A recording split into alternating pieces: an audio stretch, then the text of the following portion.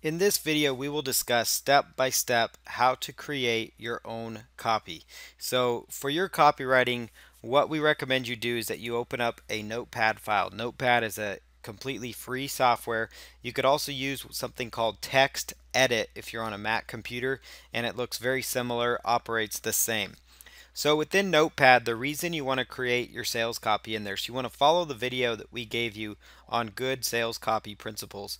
And the reason we recommend that you use something like Notepad here is because it's going to make it so that formatting is not an issue. So you don't want to run into formatting issues when you're copying and pasting your content into the free editor on JVZoo.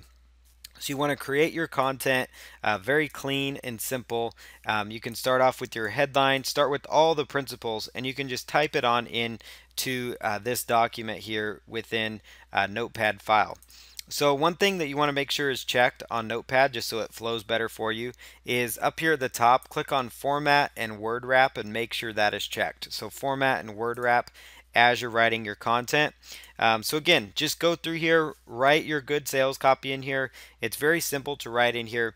The one thing that might be difficult for you as you use this tool is that you know you can't really see where the line breaks are going to be, but we're going to cover that in the next video when we actually show you how to go about putting in your sales copy into your JVZoo offer. So for now, work on creating your copy in Notepad. You can just open up your Notepad file. Um, you could also, if you feel more comfortable, write your sales copy in Microsoft Word or Google Documents or in OpenOffice Writer any one of those solutions that you have access to. You could write it in there. You could format it as you want to format it. And then what you could do after that is just simply upload it um, or just copy and paste it from there into Notepad before we're going to move it into the JVZoo uh, backend area. So that's also a strategy for you to consider. So this is step by step how to go through the copywriting process. And again, it's just about opening Notepad file, which comes pre-installed on your PC computer.